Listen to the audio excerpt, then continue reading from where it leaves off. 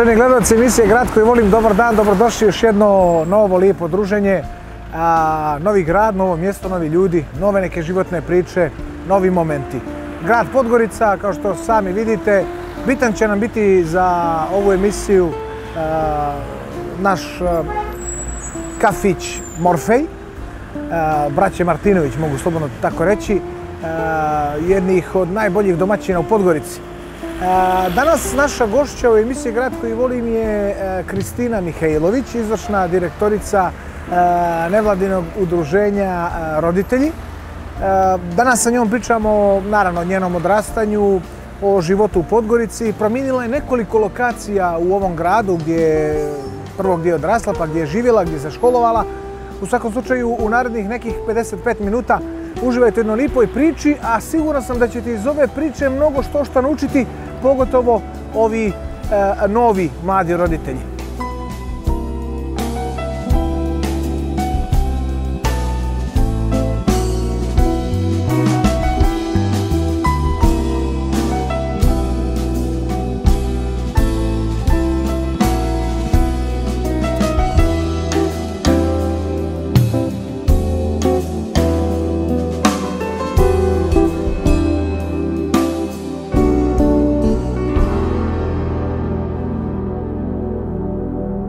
Evo, kao što sam rekao i u najavi, e, Kristina Mihajlović, dobar dan, dobrodošla u emisiju Grad koji volim. Dobar dan, hvala Mi ćemo ovako odmah da kažemo našim ovaj, gledocima smo na ti.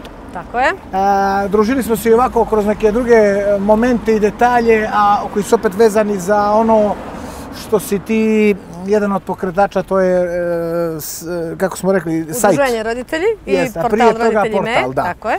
A, ajde evo za početak, kako inače volim da pitam uh, sve moje goste, uh, gdje je rođena Kristina i kako pamti to svoje djetinjstvo.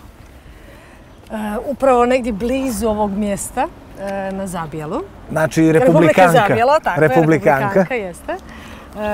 Prve dane, odnosno prve godine provela na Zabijelu. U blizini, prvo soliteri su bili, jedan od solitera, a zatim E, seljanka takozvana sada iza To je, izvini, moraš se izražavati zabjelski, dva pendreka. Dobro, dva pendreka, tako jeste. je. I znači seljanka, ne znam je li dalje taj naziv jeste. aktualan, mislim da jeste. Jeste. E, iza Oksovih škole, tada nije bilo Oksovih škola, umeđu vremenu je sagrađena. I to vrijeme pamtim kao e, prvo vrijeme e, u kojem sam se suočavala sa jednim problemom u Aha. smislu e, prevashodno zbog mog fizičkog izgleda sam bila strašno gojazna. Aha. Pa je onda to negdje uticalo i na moj način funkcionisanja. da? Tako je. I na odnos sa uh, ljudima oko mene, sa tada djecom. Ali naravno i na prijateljstva i na nekakvu moju već tada strašnu potrebu da uh, tjeram pravdu i da branim oko mene sve one koji su bili ugroženi između ostalog, ja sam neki, na neki način bila upravo zbog tog mog fizičkog izgleda, jer sam vrlo često bila i predne šale, ali sam se trudila da nekako uvijek pomognem svima onima koji su prolazili kroz slične situacije i po tome sam bila poznata. Prvo sve moj brat je bio taj koji je najčešće bio branjen, odnosno ja sam bila poznata po tome da idem da branim moga mlađeg brata, a onda i moje drugarice koje su imale neke situacije koje su bile za njih u tom trenutku problematične, pa sam ja tako voljela eto da na neki način ih zaštitim. Koliko se bilo u porodici? E, bilo nas je znači dvoje djece, majka i otac i baba koja je živjela sa nama.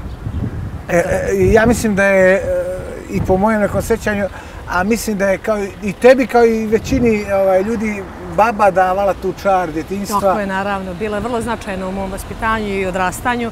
Bila posebno vezana za mene. Baba je inače, e, to je jedna od priča koji se rado sjećamo, onako presjećamo i smijemo uvijek kada se god pomene, to je da je baba željela unuka i da je, Aha. kad sam se ja rodila, bila strašno ljuta za to što sam žensko i nije ni sa kim pričala nekoliko dana. Međutim, što se desilo poslije, baba je toliko bila vezana za mene, a i ja za babu, Kako da baba brata nije konstatovala, apsolutno. On dan da nas to pominje i priča i stalno njoj to govorio, kako kad bi došao kod nje i pitao, baba daj mi ne znam, nešto dinara je što li već išao u prodavnicu, ona govorila bačit ću se s mosta, skočit ću sad odmah, ja dođem poslije dva minuta i ovaj, da, meni novac je onda on automatski to diskriminacija, katastrofa, baba mene više voli, baba to nije ni krila, zaista i nekako je baš potencirala i ta, tu našu vezu imali smo baš onako blisku vezu. A, zabijelo a tih 90-ih gdje možeš da pamtiš i to pofino i zabijelo danas. Mislim da se u Podgorici, a, pošto sam i ja bio stanovnik Zabjela, a opet i moja baba je živjela na Zabjelu, tada Petra Matovića, sada kralja Nikole, dobro pamtim ove oko Čepuraka i ovo gdje je stadion, to su sve bile poljane. Tako je, sve su bile Mislim da se u Podgorici nije bolje iskoristio prostor nego na Zabilu gdje su sve bile poljane, gdje je to bila maltene ovaj dio Dahna. E, kako vidiš razliku e, nekad i sad? Pa ja sam se na Zabila vratila prije nekih, e, pa kako se to dođe, znači nekih 12 godina. Znači povratnik. Jeste, povratnik. A inače imam tu teoriju da većina Zabilčara nekako se, oni koji su rođeni, Uvijek vraći, da. se nekako tako Zabilo. Je, tako ne znam zašto, ali zaista znam puno ljudi koji su upravo tako ovaj, završili opet ovdje. E, tada, kad sam se vratila, ništa se značajno nije promijenilo. Nisam imala bukvalo parče trotoara s kolicima zitetom da prođem, nije moglo da se prošeta nigdje. Tada su zgrade počele ove da se grade po ovim podjanama, ali bilo ih je malo i malo, dalje. Da. I e, zabilo kao da je bukvalno se mrdnulo, nije smjesto. Stagniralo, jes? Stagniralo u potpunosti. Međutim, evo, posljednje godina se ovaj, mijenja. Iskreno ne znam koliko je taj dio priče koji e, si pomenuo, a to je gradnja ovolikog broja zgrada, svaki dan raste poneka nova Tako je. na svim ovim livadama oko nas. Dobra, mislim da iskreno nije. Nekako mi se čini da bi mnogo, mnogo taj prostor bolje da iskoristimo. Evo i ovdje u blizini imamo jednu poljanu koju nekako se trudimo e, za Bjelčani da natjeramo glavni grad da napravi tu jedan dio dodatno parka gdje bismo mogli sa djecom da boravimo i naše djece da budu uz ovaj e, sadašnji manji park ali nekako se za to najmanje ima sluha. Iako moram da kažem da Podgorica u posljednjih nekoliko godina je dobila dosta igrališta i dosta parkova se sredilo, mislim da nikad to ne može da bude previše i da bi bilo dobro da se što više nekako ulaže u taj dio priče. Ja uvijek kažem lijepo je kad se e, grade zgrade, to je naravno lijepo. Samo Podgorica ima jedan problem što su te zgrade prvo nekakvih čudnih oblika. Tako je, nijedna veze jedno s drugom nema. A, ako stoji ovo, jeli, paralelno ove dvije linije, mi se kao da se trudimo da to bude ukoso, nekako da nema, a, opet pominjem ove zgrade, one jesu lijepe. A, preblizu lijepe, Pre, baš su preblizu, preblizu. pogotovo ovaj dio a, ispod Ljubovića. Tako je, a, to je posebno, posebna priča kako to tajmo izgleda. Tu je upravo naš montažer, da ga pomenemo, ovaj, Rade Bulatović, i do njega doći je zaista kao da idemo u Teheran, nebitno. Uglavnom, nikad mjesta za parking, to je čini mi se jedan problem Podgorice koji, koji opet se odnosi malo i na ovo čime se ti baviš, a to je, ajde kaže, roditeljstvo kroz udruženje roditelja. Tako je. Ne vodi se računa o infrastrukturi. Grade se ogromni blokovi, e, dijelovi grada se grade, e, nema dovoljno e, infrastrukture koja to podržava, nema propratnih sadržaja, nema, evo i na Zabijelu, mi kuburimo sa prostorom u obje škole. Znači, e, oko tih škola nema čačkalica više gdje da se. E, smjesti. Pričamo o nekoj školi tu u blizini Titek sa godinama, procedure nekakve, ne znam ja kako, ajde sad da to nazovem, da li je to e, nekako prolongiranje ili da ga nekako drugačije nazovemo možda ružim imenom, ali u svakom slučaju nije dobro. Nije dobro da to predugo traje, da se ovoliko gradi, sva ta djeca iz svih ovih zgrada i stanova moraju negdje da idu u školu, I mislim da moramo da vodimo mnogo više računa o tome da pratimo E, gradnjom i vrtića i škola e, i e, blokovi kad se grade, znači da na taj način podržavamo porodice uz parkove, naravno, zelene površine, domove zdravlja i sve ono što bi trebalo da jedan dio, odnosno jedan kvart ima. Evo, jesmo li, neka ide priče, naravno, jesmo li upravo sad prisustujemo a, ovdje je resursni, resursni centar za djecu i, za, i mlade, a, 1. jun, djeca idu iz škole, vraćaju se sa roditeljima kući, ne može da ide, evo ja i ti idemo pa pa usko. Znači, to je ono što je Podgorica radila dugi niz godina. oduzimamo pješacima, a dajemo prostor automobilima. U Podgorici, u gradu koji ima, evo ja se pominjem tih famoznih 220.000 kad su studenti svi, a mnogo manje ljeti, u gradu gdje sve možemo da završimo za 15 minuta. Više ne možemo da završimo, satima nam treba da dođemo do kancelarije i da se vratimo iz kancelarije. Mislim da svi kroz to prolazimo kada se vraćamo ili kad idemo na posao, tako da nažalost smo uspjeli da od saobraćaja u gradu gdje smo trebali ili treba da završimo sve za pola sata najviše u najudaljenije mjesto da odemo, zakomplikujemo, to traje satima. Mislim da stvarno malo ko je u tom uspio, evo, ovaj, po tome da kažem da smo ovaj, nekako poznati za sada. Onda nažalost. ispada da mi za djecu nemamo e, sluha. Za djecu, stare, to je ono, ono što je, To što je problem ne samo za Bijelo, nego cijele Podgorice. To negdje jeste suština cijele priče i ne samo Podgorice, nego i ostalih gradova i naravno Podgorice. Koliko god kažem da se stvari mijenjaju, opet je to presporo u odnosu na potrebe porodice prema shodno. Mi živimo, na primjer, evo to se odnosi na, na cijelu Crnogoru, ali naravno da se odnosi i na Podgoricu, jer Podgorica je grad koji se suočava sa najvećim brojem takvih problema.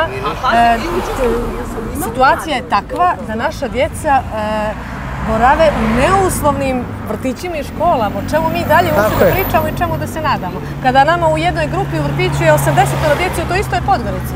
Tako Ili, je. A e, ne smije koliko, preko 20, jel? 25 je maksimalna brojka e, koja može da I bude je u jednoj mnogo. grupi.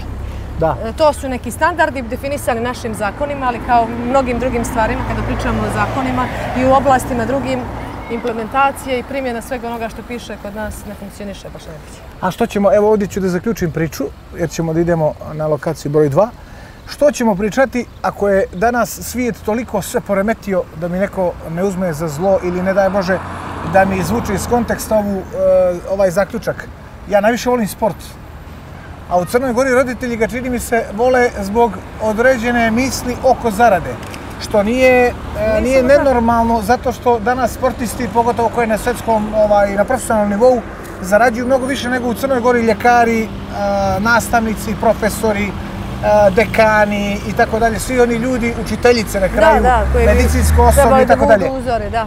Umjesto da je obrnuto. Sport, ok je, da je zarada u nečemu ograničena, ali ne. Sport je krenuo neke basnoslovne cifre, a narod je onaj koji, odnosno svo ovo naše društvo koje, koje trpi, čini mi se. Naravno, volite sport, bavite se sportom, ali eto, svi nekako sad e, djecu guramo na sportove da Jeste bi nas dobro. izvukli. Ali to jeste dobro, djeca treba da budu uključena i da imaju treninge. Ali se stvara pritisak. potpuno da bude neka druga, da, i to će ne samo zbog novca, To to, će će i treneri da kažu. Prevelika su naše očekivanja kao roditelja, mi očekujemo da će oni tamo da postignu ne znam nija kakve rezultate i onda se pravi ta vrsta pritiska na njih i onda treneri ukazuju na to, mole da se ipak nekako popusti malo da je važno da djeca uče neke druge stvari, oni u, sport, u sportskim aktivnostima uče mnogo šta šta. Ne samo tu konkretno. Sport je zdrav, apsolutno. Tako da, to jeste nešto što se prepoznalo kao problematično kada pričamo o roditeljima i o toj njihovoj ulozi. Nastavit ću mi sad priču. A, kaže, mali mi ima talenta, a džed mu imao dvije lijeve. Ajmo dalje.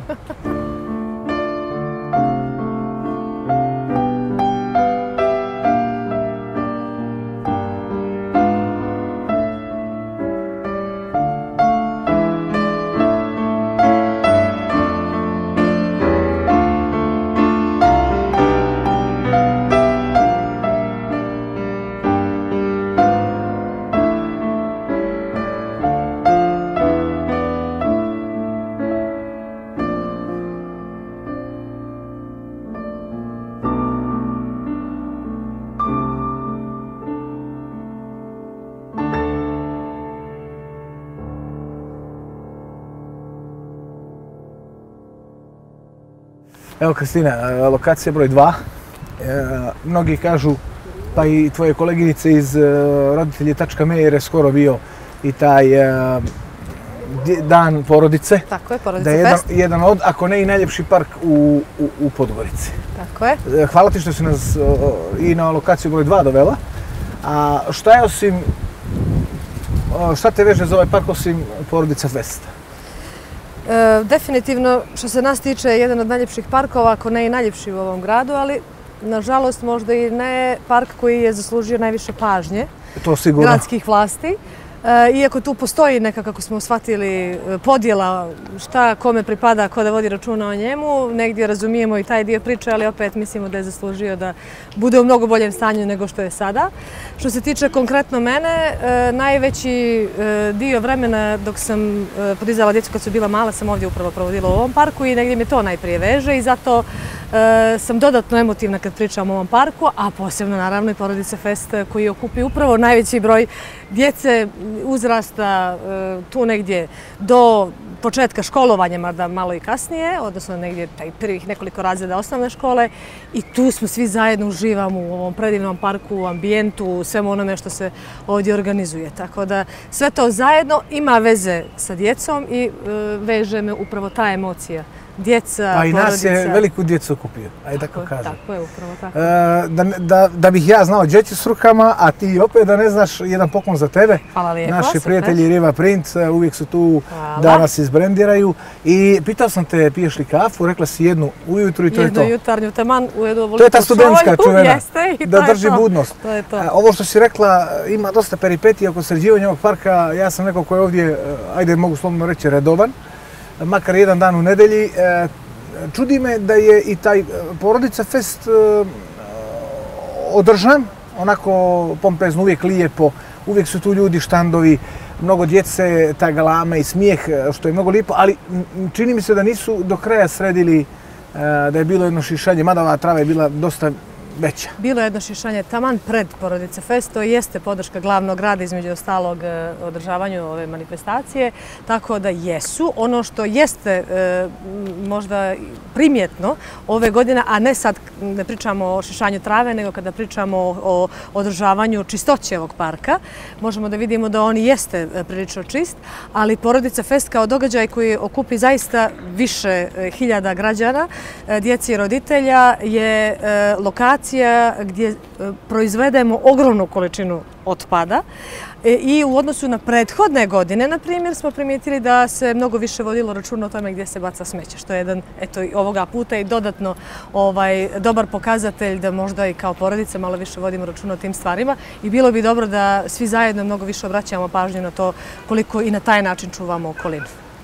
A, također, ja sam razmišljao kad je, opet pominjem taj porodica fest koji je mnogim ljudima u Podgorici važan.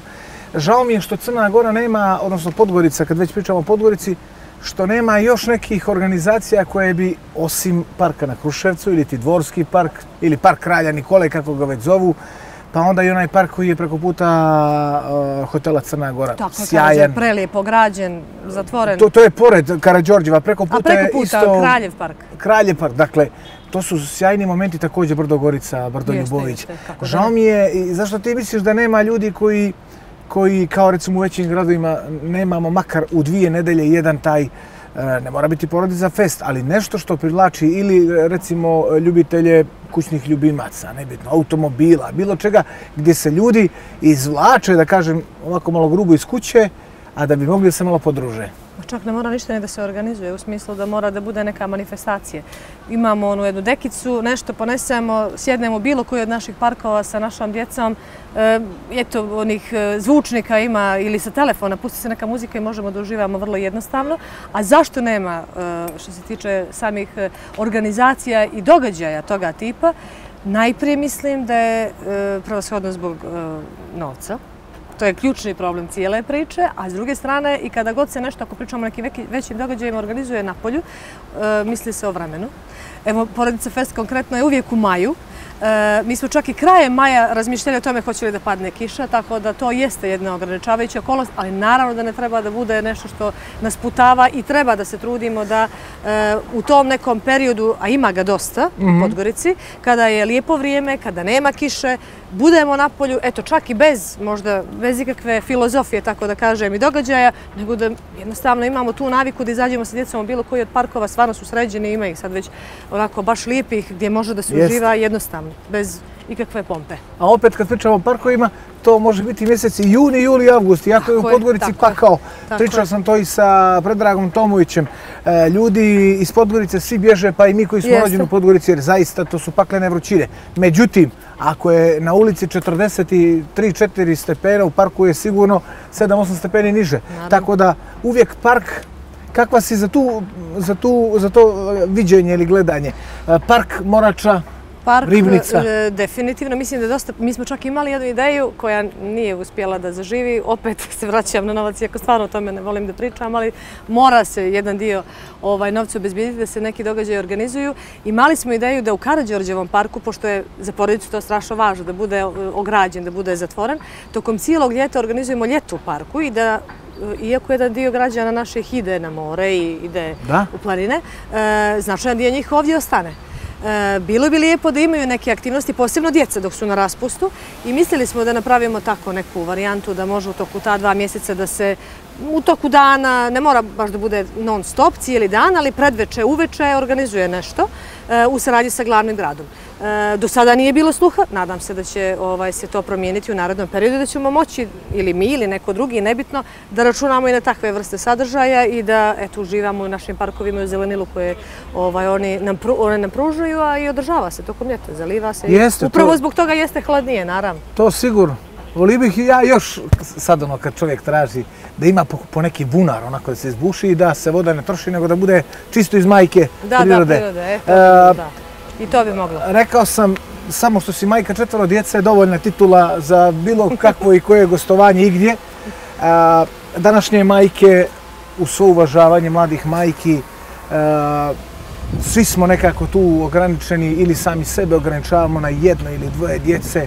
Kako je biti majka četvero djece? Koji su godištem donekle blizu, Neko je blizu, neko je daleko.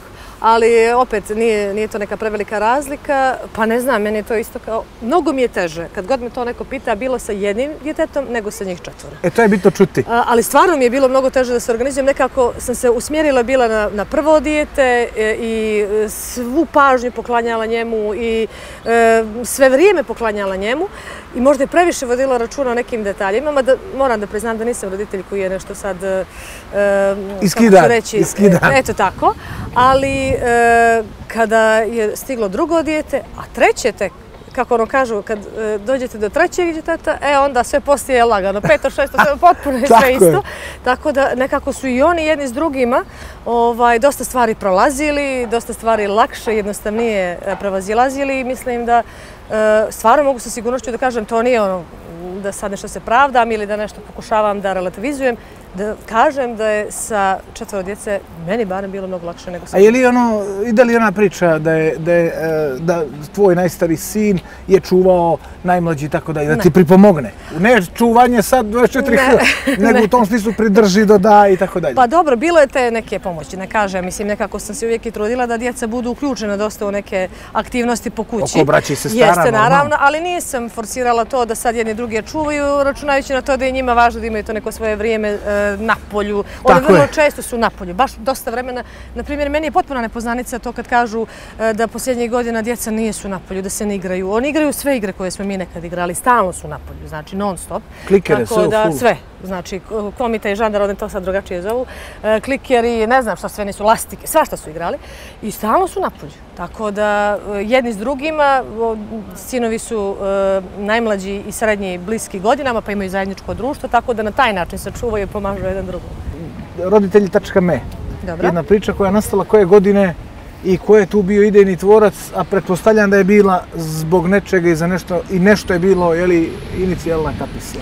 Tako I je, to je tu u naravno. stvari trebalo ovom društvu, odmah ti kažem. E, Pa mislim da jeste trebalo i da se pokazalo, već godinama se pokazuje da je trebalo i da treba i dan danas i da je vrlo značajno, koliko god možda mi bismo htjeli ta uloga da bude značajnija u smislu nekakvog većeg pritiska na promjene, jer se neke stvari dalje presporo kod nas dešavaju, ali je inicijala kapisla e, potekla od e, sada već mog bivšeg supruga, a tada e, nas dvoje kao novinari e, smo e, imali zasnovali porodicu, imali malu djecu i shvatili da nemamo puno informacija o roditeljstvu, o roditeljima u Crnoj Gori, o pravima roditelja, o zdravstvenoj zaštiti, čemu li sve već. I e, kao novinari odlučili da pokrenemo portal roditelji.me. U stvari portal je prvo nastao e, 2011. godine, onda se na forumu portala, tada su bili aktualni forumi, e, okupila jedna Tako. grupa roditelja koji su imali slične stavove o mnogim temama koje se tiču roditelja u Crnoj Gori. I tako je u stvari cijela priča sa udruženjem roditelji započeta, osnovana je nevladina organizacija koja evo i dan danas djeluje i vrlo često nas e, i sad zovu udruženje roditelji.me, e, iako je u stvari udruženje roditelji, ali je naš sajt roditelji.me kao sajt koji roditelji najčešće posjećuju i te mama koje se bave roditeljstvom se upravo i bavi. Je li bilo poziva tipa nerealnih? Kako Kao da ne, da, vam vi, da, da im vi rešavate Svakoga probleme? dana, svakoga dana. Ima li nešto najčudnije? Imamo, e, najčudnije je bilo da su ljudi tražili da, na primjer, evo sad što mi prvo pada na pamet, da zbog toga što su imali problema da pošalju djecu, na primjer, na ekskurziju, e, zbog ne samo financija, nego i odvajanja djeteta, da mi tražimo od ministarstva da se zabrani te godine uopšte organizacije ekskurzije na nivou cijele zemlje. Nekako su ti zahtjevi e, takvi toga tipa, najčešće zasnovani na nekom ličnom iskustvu i ljudima je vrlo teško da e, razmišljaju o tome da nisu baš te neke njihove potrebe najvažnije u cijeloj priči, nego da moraju razmišljati Svi imaju svoj problem najveći. Ali nema toga prečesto. Ima ga, ima ga naravno ali ovaj, nekako se trudimo i da im objasnimo da mi ne možemo baš da se bavimo svakom temom i svakom pričom. Naravno. Već da su neke problematike koje tište veliki broj roditelja prioritetne, onda naravno i ovima manjima koliko smo u mogućnosti. Ipak postoji savjeti roditelja i treba i njihove kapacitete ovaj, koristiti ako pričamo o obrazovanju i naravno vrtićima. Ima i nekih drugih mogućnosti koje opet mogu da budu jedna vrsta pritiska. Ali moraš priznati da ste uticajni dosta u crnogorskom društvu? Pa mislim... Ili ja možda stičem takav dojam? E, mislim da jesmo. I mi kada komuniciramo komuniciramo sa evo, predstavnicima, na primjer, institucija, stičemo taj utisak da nas zaista cijene, da nas uvažavaju, mhm. ali s druge strane, ima uvijek ono ali, Uh, opet e, se ne radi u dovoljnoj mjeri nekako ta konkretna reakcija nije u skladu sa ovim prvim dijelom priče. Uvažavanje. Tako je, nego nekako mi se čini da na neke stvari gledaju kao da se podrazumijevaju. Odnosno da, dobro, sad jeste to nešto prioritetno, oni će nas da ispoštuju, misle da je sad strašno važno da nam ukažu tu vrstu pažnje, a kako ćemo poslije to već imamo kada mislimo o tome. Odlično, ajmo lokacija broj 3.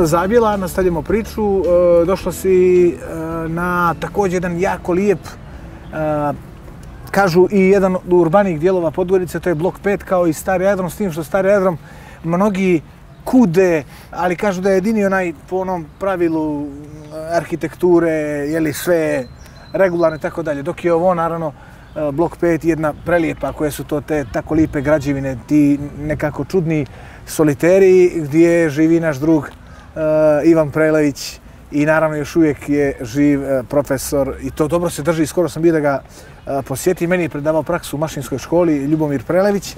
Pozdravljamo ovom prilikom i Ivana i Bojana u Beogradu i svu porodicu Prelević. Kako, kako dolaziš do bloka i kako se snalaziš u bloku iz, posto, iz prostog razloga jer djeca kad god minje sredinu zbog bilo čega, neka se lakše, neka malo slabije privikavaju. Kako je to bio kod tebe slučaj?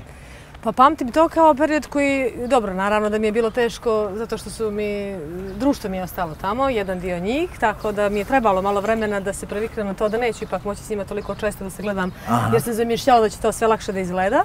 Ali s druge strane, nije mi bio težak prolazak zbog toga što sam, e, ja sam inače samo prva tri razreda osnovne škole išla u Vukarađu školu, a onda sam nakon toga putovala se zabila u Maksim Gorki e, autobusom svako jutro zato što nije bilo engleskog kao prvog stranog jezika i onda sam morala vamo da se prebacim i e, većina društva mi je bila u Maksim Gorki školi. I onda sam nakon e, prelaska ovdje nastavila nekako da se družim i družila se naravno sam bila i dalje u osnovnoj sa njima. E, nisam ovdje toliko vremena provodila na polju, više sam bila ispred Lordovke preko Morače, tu smo se okupljali oko Maksim Gorke škole, ali sam i dan danas, a i tada zaista obožavala blok 5 kao dio grada, ne zbog građevina, nego zbog toga što je nekako kao cijelina savršen, sve ima. I e, kada pričamo o porodici, naročito o ljudima koji imaju malu djecu, mislim da je ovo najbezbedniji dio u smislu da nema nigdje ulice blizu, Jeste. da može da se boravi u cijelom kvartu, znači da se ne mora zakoračiti nigdje na ulici, a ima sve školu, vrtić, dom zdravlja, Tako samo je. sve tu. Tako da Velike trgovine. zelenila dosta i stvarno ga mnogo volim kao kvart i dan danas, iako nisam ja ovdje provela, ipak sam na Zabilo mnogo više godina provela, bi naročito e, s obzirom na to da sam sada tamo, e, veže me dosta toga za ovaj dio grada jer ga e, volim kao kvart, A i bilo mi je lijepo kad se sjetim tog perioda e, osnovne škole i srednje, naravno, odavde sam išla i u gimnaziju e, i e, nekako provodila to vrijeme, ne znam, pamti ga kao, kao sjajno, savršeno i sad bi se vratila. Da mogu da se Tako vratim je. sad u gimnaziju Slobodana Škerović, odmah bih sad prestala da se vratim jer mi je to bio jedan od najljepših perioda u životu. Evo, sad smo nekako pričali mimo, mimo kamera, ovaj, ovaj upravo iza nas soliter koji sam pomenuo Da. je iznjedrio momke koji su bili uh, dosta njih uh, sportisti. Uh, mada tu je bilo naravno i momaka koji su bili onako ležerni u ponašanju i tako dalje. je. Neki su sa nama, još uvijek neki nisu više sa nama, ali opet kažem i pričamo sad na tu temu E, kako je i to vrijeme nekad bilo, e, većina momaka ili dječačića je bilo mangupi. Tako. U smislu zdravog mangupluka gdje su svi ti momci odavde i uopšte iz bilo koje kraja Podgorice koji su bili pravi mangupčići uvijek su imali poštovanje prema mojim roditeljima, tvojim, ne znam, Dejanom i svim. To je velika U razlika. na Poštovanje u, obi- u odnosu na starijeg. Mi smo razgovarali, pa i vi, misleći na roditelji udruženje povodom ovih posljednjih nemilih događaja u, u, u Crnoj Gori gdje određeni roditelji, ne, neću reći pravdu jer sigurno ne pravdaju, nego gdje su govorili da je i u naše vrijeme bilo svađa i tuča, ali nije bilo medija. Da li je to zaista tako? Ili Ja je ogromna razlika čak i u tim čarkama onda i sada? Ja mislim da nije tako. Mislim da to negdje mi tražimo opravdanje za ovo što se sada dešava, jer prevashodno smo mi svi odgovorni kao roditelji. I kao društvo, mjestu da. I kao odrasli, kao društvo. Tako. A s druge strane, jeste, to se dešavalo. Naravno, i će se dešavati da je bilo različitih i bilo je situacija vrlo problematičnih, pa kažu, ne znam, u nekim školama se donosilo i oružje. Jeste, dešavalo se sve to. Ali danas je to mnogo rasprostranjenije i upravo je ovo ključni problem, što djece i mladi ne imaju obzira prema odraslim osobama. Ranije se znalo da se posvađaju jedni s drugima, ali kada se uključi neko odrasli, znači da se to zaustavlja. Meni čerka juče priča. Juče je bila situacija, na primjer, gdje su se tukli dječak i djevojčica, pa su se uključili još, ne znam, mislim, dječak i djevojčica. I to je samo problematično. Jest, sami Pa onda, znači, e, drugi koji se uključuju u cijelu priču, dolaze odrasle osobe, žena koja pokušava da ih razvoji, oni je ne konstatuju. Znači, mi imamo odsutnost e, kod djece e, bilo kakve doze strahopoštovanja Tako od odrasle je. osobe. I to je glavni problem naše djece danas. A to je samo zato što smo mi takvi. Ja sam sigurna da mi nikako ne možemo da shvatimo konačno da je upravo problem u nama. Bilo gdje, evo sad na ulici. U nama odraslima. Nama odraslima. Mi se jedni prema drugima obhodimo tako. I oni nas samo gledaju, I ponašaju upijaju, se da. apsolutno na isti način kako se mi obhodimo. Vičemo, svađamo se. Ja evo prva, nemam što bilo kome drugome da pričam. Koliko puta sam vikala u saobraćaju kad se iznerviram, moje djece me naravno čuju i negdje misle da je to normalan način funkcionisanja. Boga mi ja sam tak. Tako da... e, Samo u saobraćaju, sa- stvarno. e, Mislim iskreno da e, sve što se ukupno dešava unutar porodice, porodicu ostalom nije mimo društva, nego je dio, društva, dio, dio je značajan društva i čak ponekada kada mi djecu učimo nekim e, i e, vrijednostima i principima, Uzaludno je kad će oni da funkcionišu u društvu koje ima potpuno neke drugačije principe. Mi ćemo ih učiti tome da treba da se e, edukuju, da uče, da obrazovanje važno, da će naći kasnije neki posao koji će da zadovolje njihove osnovne potrebe da neće im se zapošljavati preko veza i ne znam nečega, a to u našem društvu ne postoji. Mislim, navodim kao primjer. Tako da imamo i tu koliziju u smislu e, onoga što se dešava unutar porodica, čak i kad se gaje takve vrijednosti, u odnosu na to što se realno dešava u društvu. I zaista jeste problem upravo u odraslim osobama koje se ponašaju na način na koji se ponašaju. A, meni sad vraća se neko, nekako film unazad nekoliko godina, pa smo govorili e, djeco, bježite odavde. Jeste?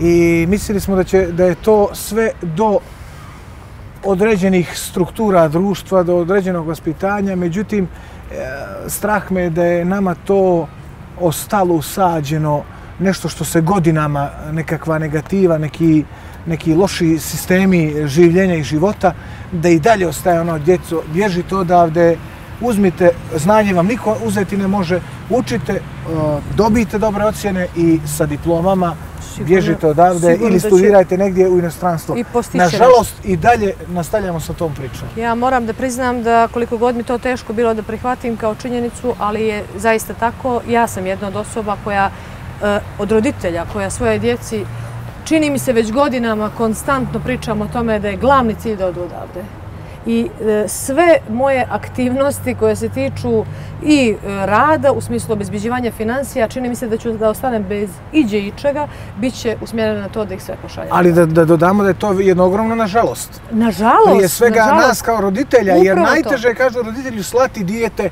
Tako pored je. svoje domovine A i, negdje drugo. I to nije suština cijele priče, ali u ovom trenutku i već godinama unazad i stvarno u nekom bliskom periodu uopšte ne vidim da će se bilo šta promijeniti. Upravo zbog nas samih, jer mi tako ako imamo neke percepcije koje su vrlo problematične i očekivanja koje su vrlo problematična i cilj mi je da ih sve pošaljem da negdje imaju priliku da odu. Evo ima sada prilika dosta, to nije nekad bilo, mi kad smo bili mlađi nije bilo toliko prilika, danas ima prilika, tako da nadam se da će tako i biti. Poslije nek se vrate, neka oni e, procijene, ocijene gdje je bolje, hoće li da budu ovdje, ali da imaju tu mogućnost da budu negdje lani i da vide neke druge sisteme funkcionisanja kako u stvari i cijeni sve ono što neko zna, uči, posvećuje se tome, ali i ovaj može da živi od toga. To ovdje mali broj ljudi može.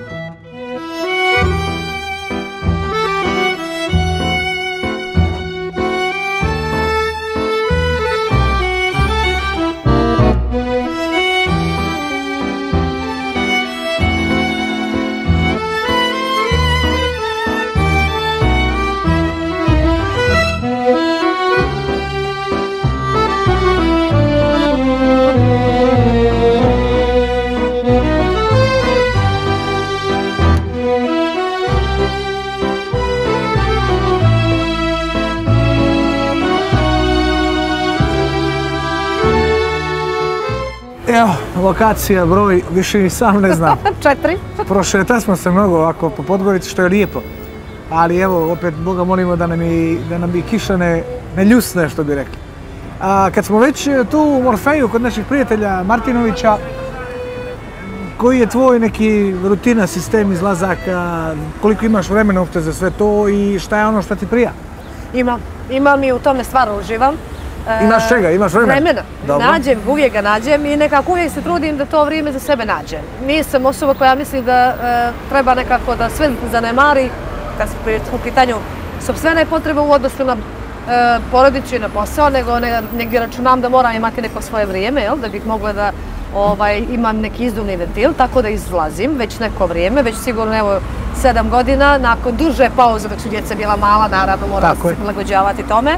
E, i potpuno je bilo i zaočekivati, nisam ni imala nikakvu potrebu da na taj način provodim vrijeme jer sam bila sa djecom. E sad već ako su djeca porasla, e, imam i više mogućnosti da budem sa svojim prijateljima i često izlazim. Tako da, e, mislim, Podgorica nije grad koji ima sam nekakav noćni život e, malo pregust, tako da kažem, nema previše lokacija.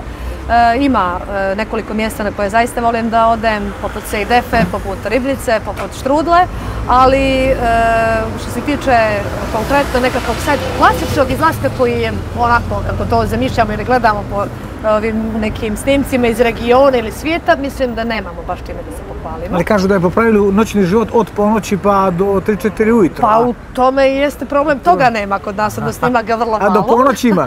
do ponoći ima. Ovaj, što se tiče konkretno uh, izlazaka i tih nekih uh, perioda provođenja vremena u toku dana po kafanama, to slabo praktikujem, odnosno taj dio stvarno ne stižem. Uh, kad sam na poslu, onda sam na poslu i ne izlazim iz kancelarije, rijetko kada uspijevam da se na bilo koji drugi način organizujem. Uh, popodne sam ili sa djecom, njih vozim na različite treninge. Popodne sam taksista, čuveo. Jeste, imam i svoje treninge, treniram zumbu, tako da taj dio dana na taj način provodim. E, i ovaj, eto, jednom, ne znam, mjesec dana izađe malo do grada. Ko je trener Zumbe? Udari sad reklamu gratis. Ivana Todorović je e, trener Zumbe koja je stvarno savršena i sjajna i ovaj, trudimo se nekako da Ono su to, da, žene nekih srednjih godina, ali trudimo se da maksimalno ispoštujemo e, jačinu i snagu tog treninga koji zaista zumba iziskuje, moram da se priznam. Sad bi mi oko, jel tako da je, mi oko 40 plus minus bi rekli kako je srednje godine. Srednje go, pa dobro, tako se Ovaj, zovu. To je od ali nije- 50 plus su srednje godine. Jeli, a to je nešto novo, znači nisam znala. Zato nisam si na, na 50 si na pola života, znači srednje godine. Dobro, dobro, evo, sad ću A, tako do da duše. Još sam u u cvijetu pravu si, mladosti. do duše u pravu si. E, e, životni vijek čovjeka se zbog raznih stvari toliko skratio da je sada 40 ili 35 godina, a života je pola. Dobro, Jer ljudi ko 70-80 danas doživi, treba da je Bogu zahvalan i to, je, to se sad smatra dugovječnost. A, do, mislim, generalno se produžio životni vijek ljudi u odnosu na nekada mi ja to ne vidim, izvini. Dobro, dobro. Ja to ne vidim. U skladu sa tim se i pomjerilo ovaj priča, Srednje cvijet doba. mladosti, srednje godine i tako to. Ali evo, neću, izvinjavam se. To je pupoljak mladosti i cvijet mladosti. Tako, ali moram da kažem, iskreno moram da kažem da što se tiče srednjih godina, kako god da se zovu, nekako mi se pokazalo ono što su mi godinama ljudi govorili, a ja u to nisam vjerovala, jer dok sam bila dijete nisu ljudi koji su imali strašni. 40 i nešto godina bili gotovo je star, starci koji ne znam ja više nisu ni za šta. E, danas shvatam koliko sam bila u zabludima, da dobro, mislim da djeca generalno tako razmišljaju u tim nekim e, takvim godinama. U ovim godinama mnogo drugačije percipiram život i inače način funkcionisanja mi se potpuno promijenio. Mnogo je sve kada pričamo o doživljaju i sebe i moje uloge i u porodici i u društvu i bilo gdje je potpuno drugačije odnosno na kako sam se ranije opterećivala mnogim stvarima. Što će ko da kaže, na koji način ću da funkcionišem, hoće li neko da mi zamjeri. Sad se fokusiram na sebi i na svoj uski krug ljudi i to mi je najvažnije i mogu reći da ove srednje godine baš onako pa, pamtit ću ih i pamti uživam stvar u njima i pamtit ću ih po lijepo. Vjerojatno se Podgorici uvijek vraćaš gdje god odeš, u Tako je, duševiš ali tako je. Podgorica je tvoje jezgro, gnijezdo. Um, I šta je ono što, naravno i onoga koga voliš, moraš i da ga iskritikuješ ako nešto ne valja. Naravno. I taj grad koji voliš, postoji li kritika prema ovom gradu? Šta je ono što bi promijenila? Šta je ono što, što bi zadržala? Što bi poboljšala? I šta bi ostavila na kraju?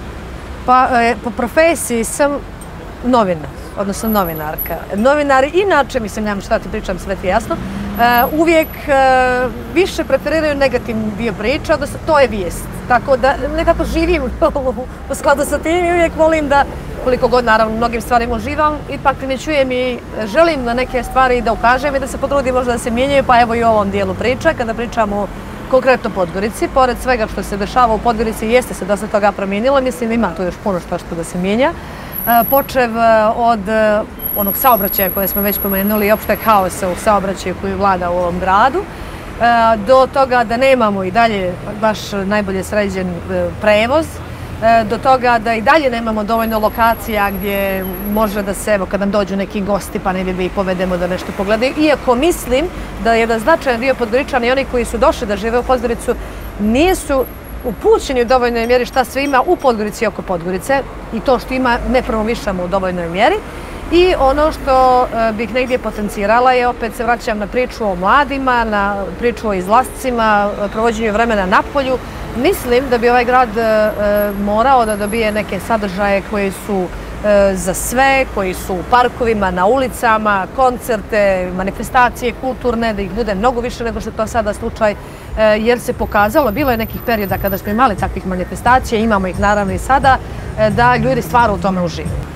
Podgorica ima, kao što smo mi bili jeli sa Leonorom Bedjevanović koja nas se vodila po obodu opštine Tuzi gdje zaista čovjek može da upozna naš najveći problem je što mi ne poznajemo sopstveni Jeste, ulaz, jeste, jeste, a kamoli tako je. da pričamo o komšijskoj zgradi. Upravo to jeste suštinski problem. Evo ja sam, moram da priznam, u 42. godini, na primjer, jedan dio Crne Gore, znala sam da postoji, naravno da postoje prokletije, ali nisam nikada tamo otišla, nisam vidjela taj dio Crne Gore nikada i oduševila sam se, znači zemljom koja je toliko mala i e, nažalost priznala sebi da ja jedan značajan dio moje zemlje ne poznajem.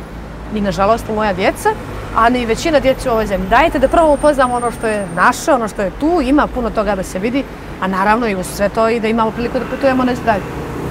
Evo na kraju, na samom kraju razgovora, da li zaista treba da poslušamo neke ljude koji su bili prije nas, živjeli prije nas, ostavili neke mudrosti ili svojeg životnog iskustva da zaista čovjek ako želi da minja svijet oko sebe, prvo treba da promijeni sebe.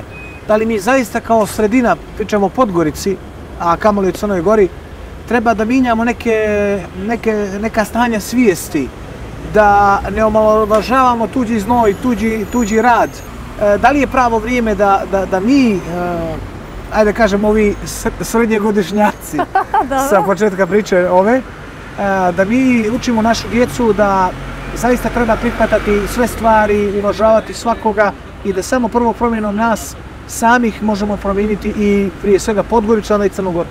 Upravo to je suština cijele priče. Kako ona kaže, da se nadoveže, negdje me podsjetilo i na tu e, izraku, a to je da ukoliko želiš da minjaš svijet, prvo idi kući, voli svoju porodicu, onda ćeš i na taj način da otičeš i na ponašanje svoje djece i na svoje da. i na naravno e, kompletno društvo. Tako da suština cijele priče je upravo u tome, da se negdje mi okrenemo jedni drugima, da uvažavamo jedni druge, da e, imamo mnogo veći stepen tolerancije prema drugima i da e, se trudimo da budemo primjer drugima, a ne da očekujemo previše od drugih, a mi radimo potpuno znači, suprotne stvari u odnosu na to što su naše očekivanja.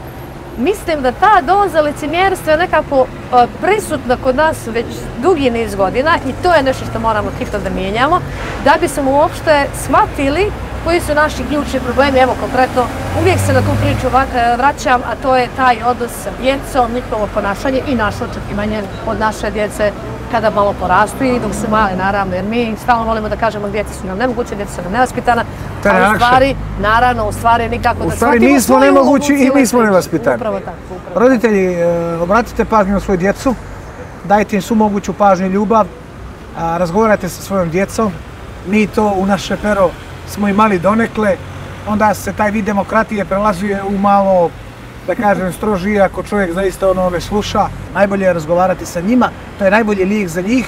E, ta priča u momentu može nam roditeljima da se čini da im ne ulazi uši, ali sigurno da ostaje. 100%.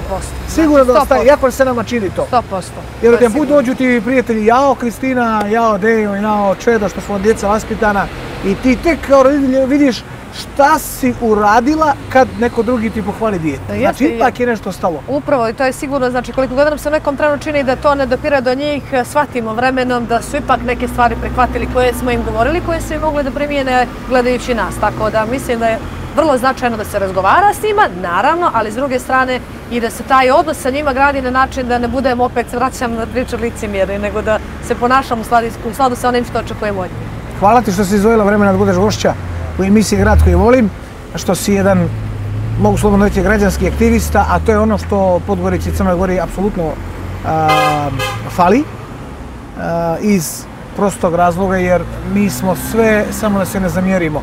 A svaki vid aktivizma građanskog je zamjeranje. E sad, ako ulazimo u to, idemo pa da se zamjeramo i što se kaže i porodici.